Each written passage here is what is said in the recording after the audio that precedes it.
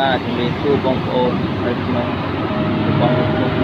ថ្ងៃនេះគឺខ្ញុំចង់បង្រៀនបងប្អូន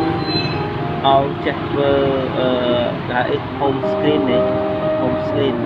ឬក៏ពាក្យមួយទៀតហៅថា easy touch នេះឃើញទេបងប្អូននេះ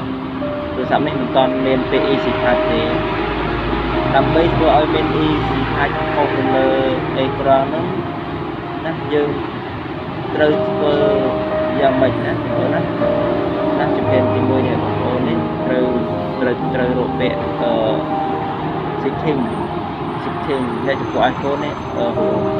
អឺនេះកងចាក់នេះនេះចុចកងចាក់នេះមក setting មកហើយយើងត្រូវរកពាក្យ general បាទនេះ general នេះយើងចុចមកមានទី2បាទ ហើយជំហានទី3យើងត្រូវចុចពាក្យ accessibility មិនបាទសំដៅបងប្អូនខ្ញុំអត់សូវចេះអានអង់គ្លេសអីប្រហែលទេណានេះ accessibility នេះបាទចុចចំណងមកហើយយើងត្រូវរកពាក្យពាក្យអឺនេះនេះបងប្អូននេះ access assistive assistive touch នេះអានអង់គ្លេសដល់ហើ យហ៊ានបានច្រើនពេកបងប្អូន access អឺ accessive touch បាទនេះ